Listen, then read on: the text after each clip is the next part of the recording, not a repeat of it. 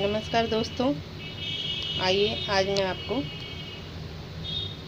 धनिया और पुदीने की चटनी बनाना सिखाती हूँ।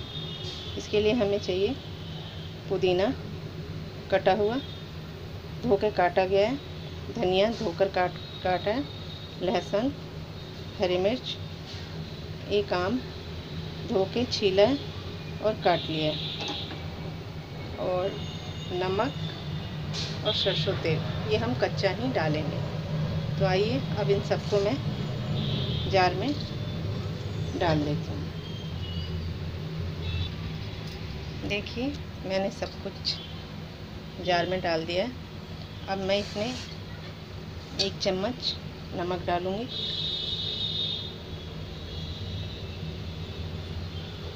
ये देखिए दोस्तों। बाद में हम नमक चख लेंगे। और बिल्कुल थोड़ा सा पानी। बस।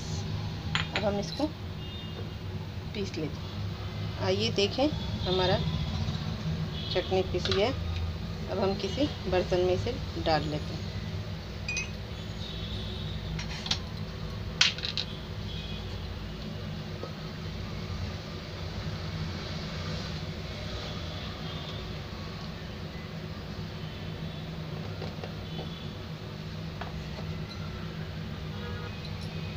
ये देखिए, अगर मैं बाद मैंने इसमें कम पानी डाला था तो ये गाढ़ा गाढ़ा है, वरना ये बिल्कुल पानी जैसा होता है। इस टाइम हम नमक चेक करेंगे, अगर नमक कम होगा तो हम और डाल लेंगे आइए तो अब इसमें मैं सरसों तेल डालती हूँ।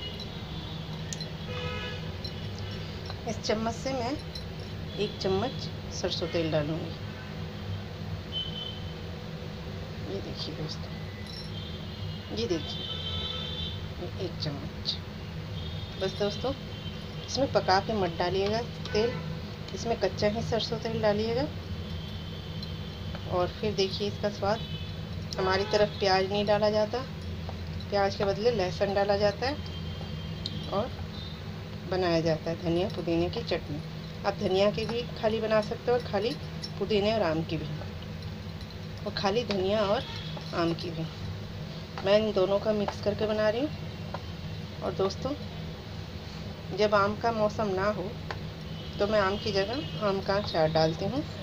तो बनाती देखिए महीन पीस गया बिल्कुल। पानी मत डालिएगा, कम डालिएगा, तब यह गाढ़ा होगा। और आप अपने बर्तन में डालेंगे तो ये फैलेगा नहीं, एक जगह ही ये देखिए, रहेगा। तो दोस्तों, बनाइए, खाइए। और फिर मुझे बताइए कि ये चटनी आपको कैसा लगा? जब आम का सीज़न ना हो कच्चे आम का तो आप आम का अचार भी डाल सकते हैं। अब बना के देखिएगा दोस्तों, उस आम की चटनी का स्वाद ही कुछ अलग होगा, जब आम ना हो उपलब्ध। तो बनाइएगा ज़रूर और बताइएगा ज़रूर मुझे कि हाँ कैसी बनी और ताकि मैं आगे और भी वीडियो बनाऊँ। धन्यवाद दोस्तों।